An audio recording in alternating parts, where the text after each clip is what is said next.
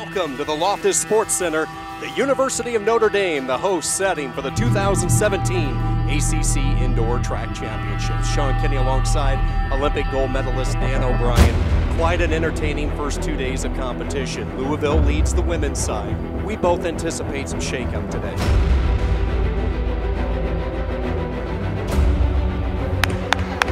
Hi, Nate.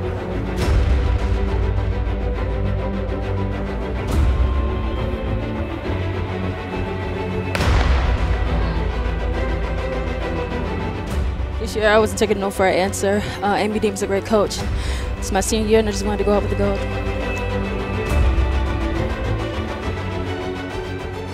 Miami 1-2 right now. The veteran Wimbley, the up-and-comer Brittany Ellis as they enter the final stretch. No doubt about this one, Shakima Wimbley of Miami. For the second straight year, winning the ACC title 51.20 your winning time.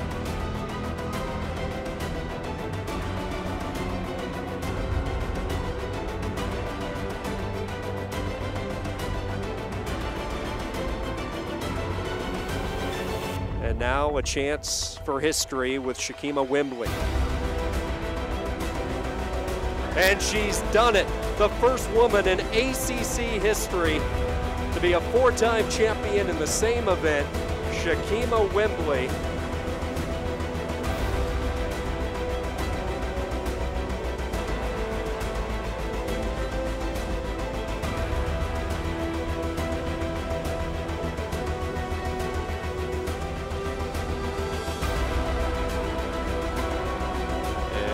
Miami in celebration mode, the Hurricanes.